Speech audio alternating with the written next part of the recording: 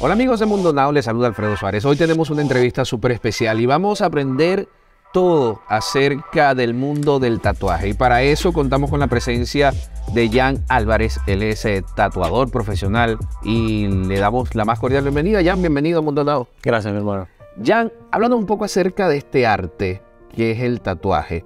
Pero antes de entrar en, materia, quisiera saber cuántos años tienes tú eh, tatuando y, cómo empezó, comenzó esa pasión tuya eh, por, por este mundo del tatuaje. Bueno, yo ahora mismo tengo 15 años tatuando y todo comenzó a través de mi familia. Mi abuelo, él, él era artista plástico. Desde que yo tengo uso de razón, me acuerdo de él pintando con óleo. Eh, y luego mi mamá también pintaba. mi hermana es ella es diseñadora de moda. Y mi hermano, él es, tatuador también. Okay. So, yo desde que comencé, desde que tengo uso razón, yo pintaba, yo dibujaba. Y pues todo fluyó con, con mi hermano que comenzó a tatuar y yo digamos que seguí, fui siguiendo sus pasos también. Para ti, ¿qué significa el tatuaje? El significado que más peso tiene es que hacerte un tatuaje te hace, te hace diferente a los demás y aparte que puedes como representar eh, algún algo que quieras representar en tu piel por el resto de tu vida. ¿Para ti es arte el tatuaje? Oh, sí, sí, definitivamente es, una rama moderna del arte. Es sencillamente un, nuevo, un nuevo lienzo. Eh, nos estabas comentando que tu hermano, digamos, fue como que esa inspiración, pero ¿cuándo decidiste tú, ok, esta va a ser mi forma de vida, yo quiero ser tatuador profesional y aquí es que quiero hacer el resto de mi vida. Cuando yo hice mi primer tatuaje, al mismo momento yo también eh, estaba en la universidad, estudiaba ingeniería de gas, yo soy ingeniero de gas. Y el, el, momento que estaba trabajando como ingeniero de gas, me di cuenta que no era lo que yo esperaba de la carrera sentí la carrera muy monótona y, todo como era como lo mismo. Y el, y el tatuaje te daba mucha más libertad creativa. Ah, cuando yo terminé mi contrato de, como ingeniero, yo dije, hasta acá, yo no quiero seguir trabajando como ingeniero, quiero dedicarme al tatuaje. Tres meses luego de que yo tomé esa decisión, se me abrieron las puertas porque me invitaron a trabajar en Italia eh, como tatuador y ya de ahí pues me di cuenta que ese era el camino. ¿Todo tu arte ha sido empírico o tuviste alguna formación para, para aprender a tatuar? Yo pienso que lo mío es un, 10% de talento, pero sin duda el resto ha sido práctica. Ha sido práctica ¿por qué? Porque cuando yo comencé a dibujar, comencé con otras personas que dibujan quizás más que yo, pero esas personas no practicaron tanto como yo. Y ahorita yo estoy a un nivel mucho más alto que esas personas que no practicaron. ¿Por qué crees que una persona toma la decisión de tatuarse? Querer llevar un motivo, una circunstancia de la vida por el resto de tu vida y aunque no lo creas, también por tener algo estético. Es algo así, yo siempre doy el ejemplo de como cuando una mujer se hace una prótesis. Es algo estético. es, es la misma razón. Es querer, puede ser querer tener algo que te haga sentir mejor. ¿Qué decirle a esas personas que son, digamos, detractores de los tatuajes, que muchas veces dicen, eh, eso es de pandillero, eso se ve feo en el cuerpo, eso es satánico, en fin, que tienen todos esos estigmas eh, por, por este arte? Como no es un arte que es muy, no había sido muy tradicional, lo ven eh, diferente, pero en este momento esto está muy, muy avanzado y aparte que no es sencillamente hacer algo en la piel, es, un arte, es una rama más de, del mundo del arte. Últimamente he visto muchas personas que usan más, digamos, en blanco y negro o en tonos grises, otros el, color. Hablando un poco acerca de eso y, desde tu punto de vista, ¿cuál es tu preferido? Ah, ahora mismo eh, existen muchísimos estilos de tatuajes, muchísimos.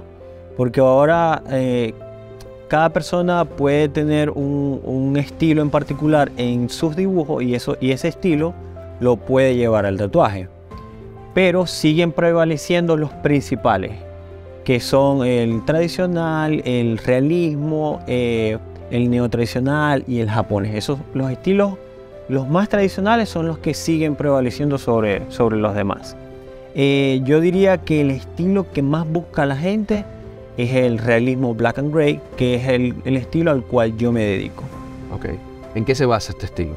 Este estilo eh, lo que busca un artista que hace realismo black and gray es reproducir una imagen, una imagen fotográfica realista, lo más parecido, lo más llegado en la piel a esa fotografía.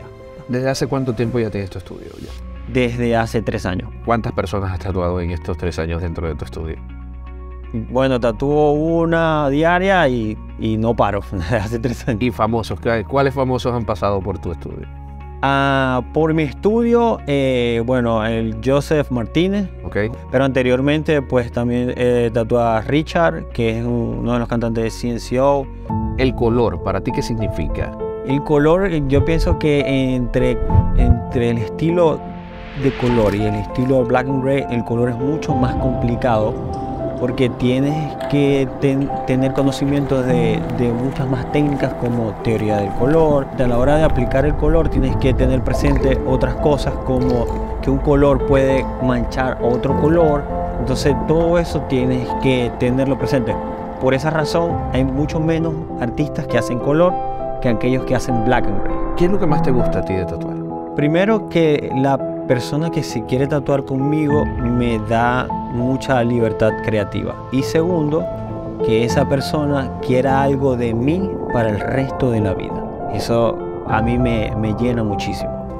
Quisiera que, que me hablaras un poco acerca de eso y, y de, y de esas historias que, digamos, a ti te, te han llegado y te han marcado y te dicen, wow. Y, y- después que tú las tatúas, para mí es un honor haberte, haber puesto, digamos, mi sello en curarte una herida, cerrarte una herida, en cerrar un ciclo de tu vida. Háblanos un poco acerca de eso.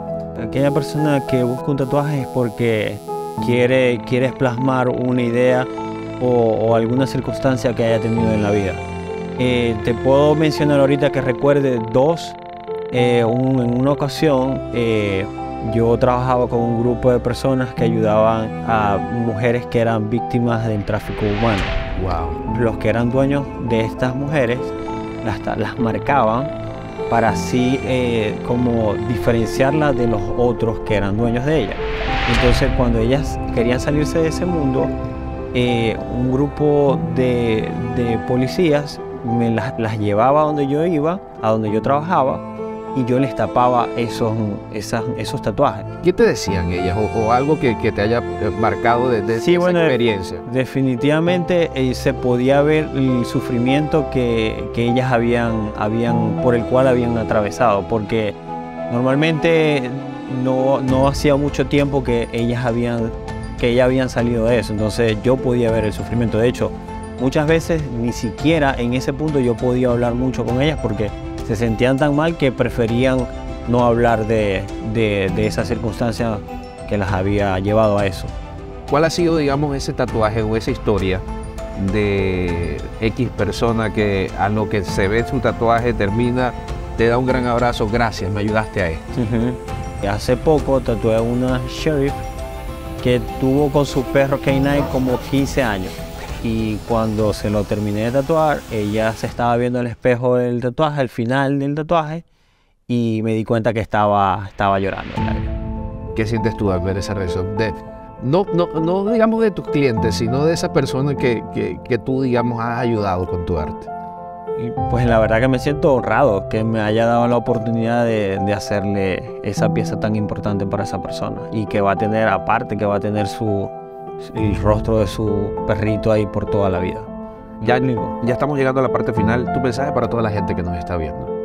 Eh, yo diría que toda aquella persona que se quiera tatuar, primero que piense bien lo que se quiere hacer, que analice bien con quién se quiera tatuar, que esta persona sea buena, que tenga medidas de bioseguridad muy buenas, que analice bien ese, ese tatuaje que se quiera hacer y que se anime, que se anime. Eso es lo que yo digo.